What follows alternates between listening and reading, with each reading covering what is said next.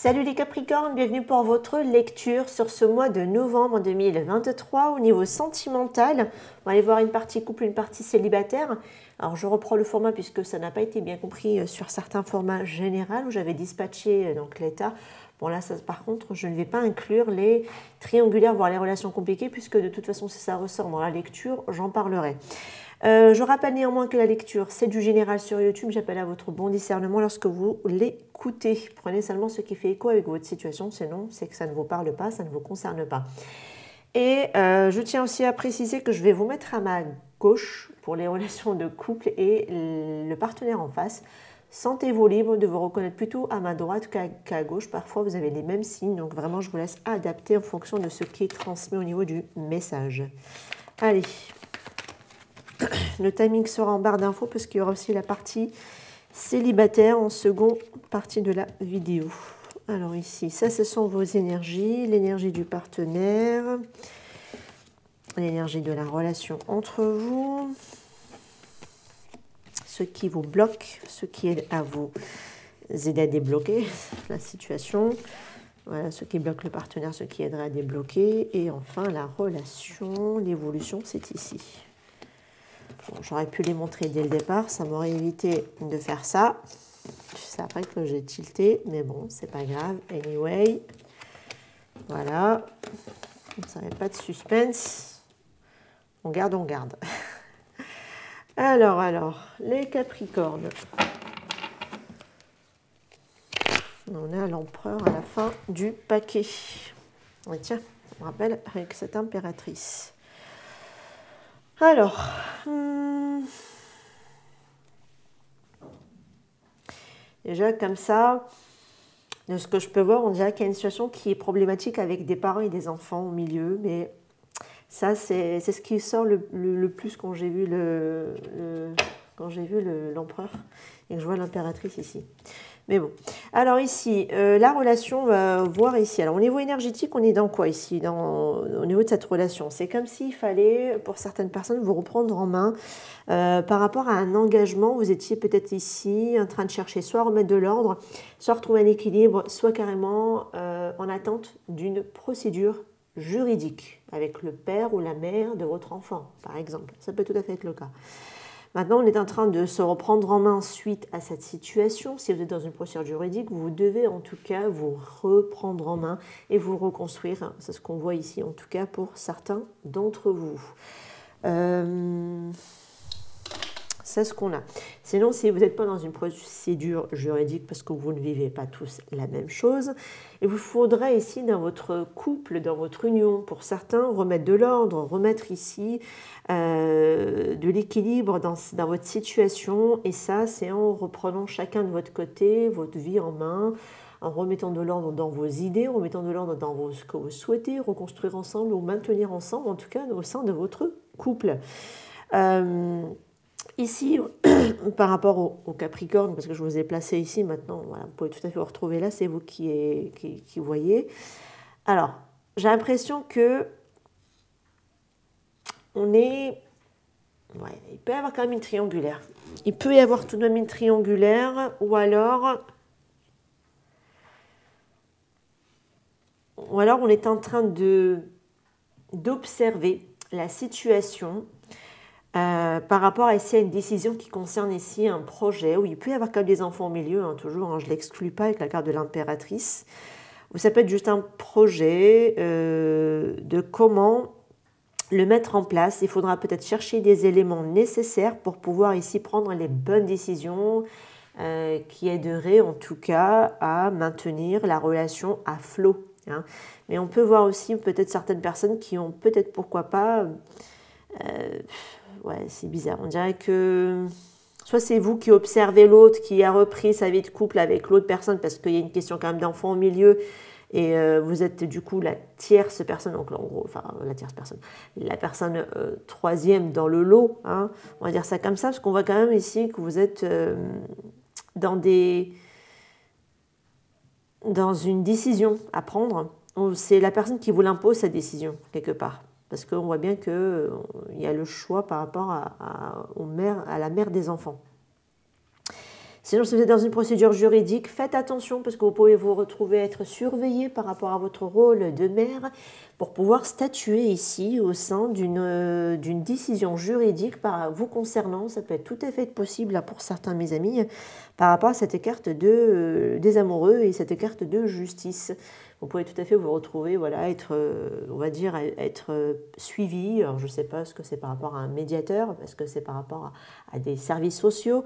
Euh, ça peut être tout à fait possible hein, pour certains. Donc, faites attention par rapport à ça. parce que ça va, ça, va être, ça va impacter la décision juridique par la suite, pour pouvoir statuer peut-être la garde ou des choses comme ça. Euh, ici, de ce côté-là, on a quoi? On a ici une personne qui euh, souhaite ou en tout cas aimerait quitter une situation qui émotionnellement ne, lui convient pas. Par contre, euh, cette personne peut-être met du temps à s'en aller ou à quitter cette situation, parce qu'on va le voir tout de suite dans son blocage, de toute façon, que c'est par rapport à des enfants, que là, cette personne a pris le temps de s'éloigner ou alors elle doit se remettre en question par rapport à sa décision qu'elle doit prendre et parce qu'on on investit matériellement, financièrement dans quelque chose et qu'on a du mal ici à laisser cette situation derrière soi, ou alors le fait parce que peut-être que c'est nous qui entretenons ces enfants et qui leur donnons ici cette sécurité, cette stabilité, que ça va venir complètement chambouler. Cette personne peut-être a du mal à prendre sa décision par rapport à ça, financièrement parlant, matériellement parlant, ou le fait de garder en tout cas une structure solide par rapport à des enfants, voilà, quelque chose, quelque chose qui rentre en compte, hein, franchement, pour, concernant ici des enfants, hein, pour certains d'entre vous, ça peut être possible. Sinon, euh, sinon, sinon, j'allais dire que peut-être que la personne, elle a tourné le dos, alors c'est vous qui avez décidé de lui tourner le dos, et vous êtes éloigné de cette personne et peut-être que cette personne essaie de vous bloquer et euh, appuie sur quelque chose où il y a financièrement parlant et ça impacte aussi les enfants. Voilà. On peut aller aussi sur cette piste-là pour certains cas, bien évidemment. J'ai l'impression que c'est vraiment une situation familiale avec des enfants qui posent problème et on doit régler cette situation peut-être devant les tribunaux. Euh, c'est compliqué parce qu'il y a aussi peut-être le, bien-être des enfants, le côté sécuritaire des enfants, peut-être par rapport matériellement parlant. Voilà, il y a beaucoup de choses. Donc attention ici à ne pas vous retrouver. Mince, j'ai plus de batterie, ça m'a fait peur d'ailleurs. La ring light s'est éteint. Donc on va se retrouver ici finalement à être sous surveillance ou quelque chose comme ça. Euh, on voit bien que de toute façon ici c'est vraiment les enfants, peut-être qui souhaitent même quitter, pourquoi pas le domicile d'un des deux parents, ça peut être tout à fait possible. Ou c'est le parent lui-même en tout cas qui a du mal à quitter ici cette situation, c'est sa problématique à cette personne, parce qu'on lui dit que vaut mieux quitter quelque chose qui émotionnellement ne nous convient pas pour aller vers quelque chose de beaucoup plus calme, beaucoup plus paisible, mais ce sera même bien, même pour des enfants aussi, hein, parce que parfois on peut rester avec le parent et puis finalement, euh, si c'est pour le faire grandir dans des disputes, dans des conflits où il n'y a pas d'amour entre les parents, euh, ça les impactera tout autant que des personnes qui, sont, qui ont des parents euh, séparés ou voire divorcés. Ici, de ce côté-là, qu'est-ce qu'on a? On a ici l'addiction, hein. on a ici la dépendance affective peut-être qui est problématique, les Capricornes, c'est votre signe, parce que vous avez le signe, alors je vais essayer de rallumer la lumière, mais ouais, super. Donc là, euh, donc là, on a des addictions, peut-être aussi avec la carte du diable. Bon, c'est votre signe, les, les Capricornes, c'est ça que je voulais, dire. Euh, parce qu'on vous voit ici peut-être bloqué euh, par rapport à quelque chose qui... Alors je ne sais pas, est-ce que c'est une dépendance affective ou est-ce que c'est une dépendance à une substance aussi qui est problématique? Ça peut être le cas avec la carte du diable. Euh, attention à ne pas être dans les excès hein, avec la carte du diable tout de même, peu importe l'addiction à laquelle vous êtes accroché. Ça peut être aussi attention à de l'auto-sabotage, hein, bien évidemment, avec la carte du diable. Euh, parce que là, ce qui pourrait vous aider, c'est de voir votre situation d'un autre angle de vue, c'est-à-dire de vraiment de la voir autrement, de savoir pourquoi cette situation peut-être vous échappe, pourquoi vous vous, vous, vous quelque part vous vous enfoncer là-dedans et qui est difficile pour vous. Pourquoi vous vous êtes aussi peut-être pour certains laissé aussi vous malmener, vous euh, manipuler, hein, parce qu'on est quand même sur la carte du diable, là on est sous l'emprise de quelqu'un. Qu'est-ce qui a fait que vous avez autant laissé votre pouvoir, votre pouvoir personnel à quelqu'un face à vous? Voilà, donc là le pendu, même si vous êtes un peu bloqué dans cette situation, elle vous incite néanmoins à la voir autrement et voir pourquoi, pourquoi ça s'est déroulé, qu'est-ce qui a fait que vous vous êtes autant laissé, autant amoché peut-être dans cette situation avec cette personne qui en a abusé de son pouvoir par rapport à vous. Ça peut être tout à fait possible. Je m'excuse, franchement, on se retrouvera avec une ring light qui me fait que s'éteindre. Tant pis, je ne l'ai pas assez rechargée, je pense. C'est pour ça qu'elle me lâche au cours de route. Euh, j'espère que vous voyez quand même bien les cartes, plus ou moins. Donc là, l'évolution de la euh, relation. Alors là, il faut vraiment remettre de l'ordre dans vos idées. Ça, c'est hyper important. C'est comme la carte de la justice, la carte de l'épée. Hein. la reine d'épée, je voulais dire, pardon.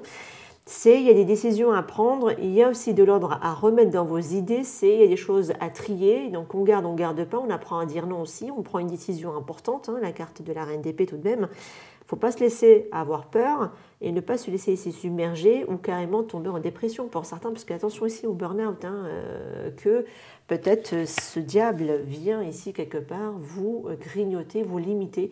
Ce serait bien dommage euh, parce que vous avez vraiment la capacité de réussir à dépasser cette situation. Si vous l'avez manifesté, c'est que réalité vous avez les épaules de l'affronter. Ne l'oubliez vraiment pas. C'est vous qui vous reconnaissez dans cette lecture, les amis. Ne vous laissez pas morfondre, vous avez vraiment cette force, cette capacité de vous relever malgré tout, parce que vous l'avez, hein, cette carte de, euh, de, la reine d'épée, vous, vous pouvez tout à fait prendre sa posture, c'est-à-dire elle, elle a été tellement, euh, était tellement amochée par la vie, néanmoins, ça l'a endurci, ça l'a rendu quelqu'un de fort, et qui aujourd'hui garde la tête sur les épaules et les pieds bien ancrés sur terre, on la lui fait plus à l'envers, hein, je peux te dire, hein, c'est plus l'enfant de cœur, quelque part mais c'est parce qu'elle s'est endurcie avec les épreuves de la vie. Hein. Voilà. Donc elle a besoin aussi de reprendre, euh, comment dire, d'avoir du, sang-froid, de, rester aussi avec le sang-froid par rapport à une situation peut-être qui vous échappe de votre hors de votre contrôle, et d'aller chercher aussi aussi pourquoi pas, pourquoi vivre ces addictions, ces dépendances, ces, ces auto-sabotages aussi en vous, d'aller comprendre qu'est-ce qui vous bloque ici pour pouvoir réussir à les dépasser par derrière. Euh, par la suite, parce qu'on le voit bien ici, qu'on voit bien que vous avez des choses, un sommeil perturbé, de la dépression, de la détresse aussi pour certains. Attention ici à ne pas vous laisser malmener hein, par tout ça. Et aller déposer euh, ce fardeau à terre et de déposer aussi ces angoisses qui parfois ne vous appartiennent même pas en réalité. D'où la nécessité de remettre de l'ordre dans vos idées, de remettre de l'ordre dans votre vie, ça c'est hyper important. Et je pense que le fait de, tant qu'il n'y a pas une procédure juridique qui s'est statuée, voilà, vous allez vraiment déposer ce, fardeau à terre.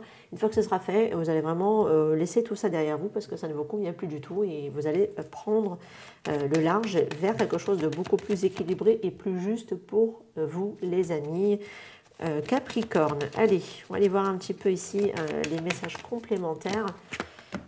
on parle de mariage, donc ça s'adressera davantage à des personnes qui sont en union ou que la personne en face est dans une union, dans un couple, on parle carrément de mariage. Effectivement, ça se confirme de toute façon ici avec euh, ce pape. Donc là, ça va être plutôt pour des personnes qui, sont en train d'attendre une procédure juridique avec le parent opposé, hein, clairement, hein, dans, ce tirage. On vous dit, vous méritez l'amour, les amis, vous avez des personnes vraiment adorables et vous méritez le meilleur. C'est ça où il faudra peut-être ici vous faire euh, comprendre ici que vous méritez le meilleur, hein, pour certains d'entre vous en tout cas. Allez, Décidément, la ring light, elle m'a fait euh, libération d'un blocage. Bah voilà, bah voilà, super. Bah voyez, vous allez vraiment réussir à vous en extraire. Alors c'est vraiment quelqu'un qui n'était pas bon parce que ça, vous pouvez tomber sur un pervers narcissique. Pour certains, vous êtes tombé sur un pervers narcissique. Ça peut être tout à fait possible hein, que ce soit le cas. Donc là, vous vous en libérez. Ouais, libération d'un blocage. Bah, très bien, tant mieux. Surtout si vous étiez en union, en couple. Hein. Moi, je m'adresserai vraiment à ces personnes-là. Très bien, tant mieux, je vous le souhaite, hein, parce que franchement, ça n'a pas dû être facile. Vous voyez, vous allez vers la réussite. Et en plus, vous allez vraiment vous en extraire de cette situation. Ça sera une réussite. Donc, il y aura bien ici euh, une procédure juridique qui va prendre fin. Voilà, et qui va vous extraire de cette situation pas bonne pour vous. Très bien. Mais écoutez, dites-moi en commentaire si ce tirage vous aura parlé, est-ce que vous êtes euh, reconnu? Alors ça peut être vous, ça peut être la personne en face de vous, si vous êtes aussi dans une relation compliquée, voire une relation triangulaire, je devrais dire. Ça peut être possible même que ce soit le cas, que ce ne soit pas vous qui ressortez, mais que ce soit plutôt la personne en face de vous qui l'est hein, dans ce tirage. Voilà, donc n'hésitez pas en tout cas à regarder pourquoi pas la partie euh, célibataire. Allez, on va aller voir un petit peu ici pour les Capricornes célibataires sur ce mois de novembre On va voir un petit peu les deux cartes que je vais sortir ici. Ok, on parle quand même d'enfants, on parle quand même de jeunesse, on parle d'un nouveau départ, on parle aussi le fait de peut-être euh, se reconnecter à son cœur par rapport à ici à quelqu'un du passé, que peut-être euh, vous êtes un peu nostalgique de cette personne, pour qu'elle revienne vous refaire une offre, une proposition, ça peut être tout à fait possible. Ça, c'est d'où vous venez du passé, où est-ce que vous en êtes aujourd'hui, vers quoi vous allez, et enfin ce qui euh, vient à vous. je devrais dire, j'ai inversé, bah, tant pis. Hein. Là, j'ai l'impression que c'est vraiment la continuité de ce qu'on avait tout à l'heure dans le tirage. Alors, de vous venez du passé. Vous venez ici d'un passé où vous étiez peut-être face euh, à un choix, une décision à prendre avec un 2 de bâton.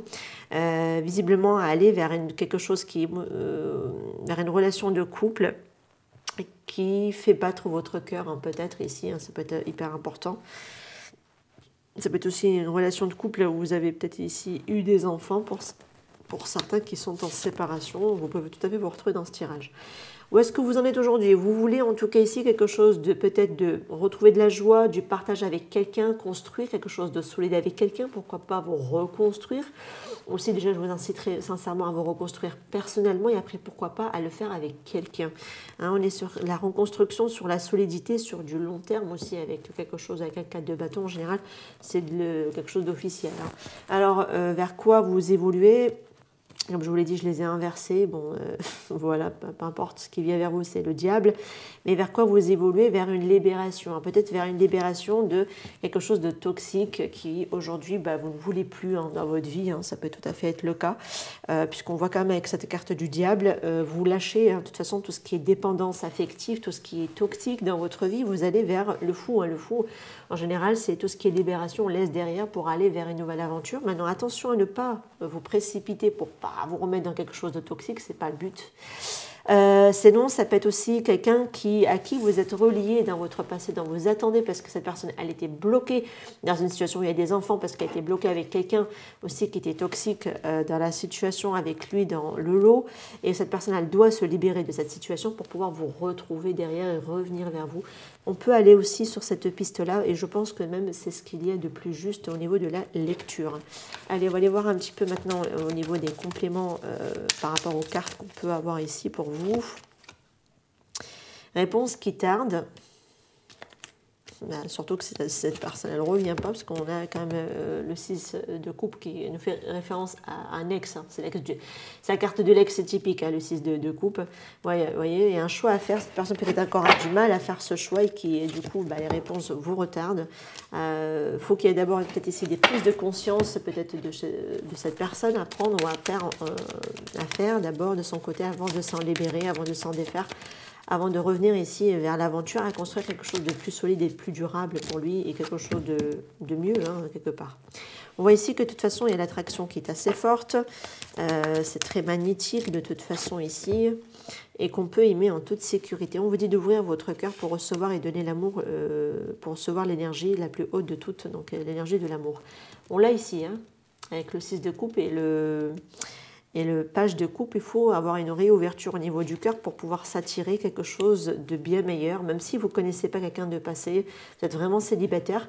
Si vous souhaitez acquérir quelque chose de bien meilleur avec une forte passion, parce que ça peut être le diable, ça peut être aussi le côté passionnel, euh, pour aller vers une nouvelle aventure euh, passionnante, euh, voilà, comme vous le souhaitez les vivre en tout cas, pour l'attirer, cette, cette, ce genre de relation, il bah, faut vibrer l'amour pour attirer l'amour. Voilà, tout simplement. En ayant les bonnes prises de conscience, en faisant aussi les bons choix à faire peut-être de votre côté, même si peut-être que dans la matière, euh, voilà, ça tarde un petit peu à, venir à votre, à votre rencontre également pour certains d'entre vous. Donc je vous donne les deux possibilités parce que vous n'êtes pas tous en train d'attendre un ex. Il y, en a qui veulent juste retrouver quelqu'un dans leur vie, dans leur vie, dans leur vie personnelle. Donc voilà, je vous les, je vous les transmets. Je m'arrête ici, donc je vous souhaite euh, bah, euh, en tout cas une très bonne continuation. Je vous retrouve de toute façon sur la chaîne, je vous retrouve pour d'autres tirages. N'hésitez pas en tout cas à faire vos retours en commentaire pour me dire en quoi cette lecture a fait écho et sens avec vous. Je vous dis à très bientôt, prenez soin de vous, ciao ciao.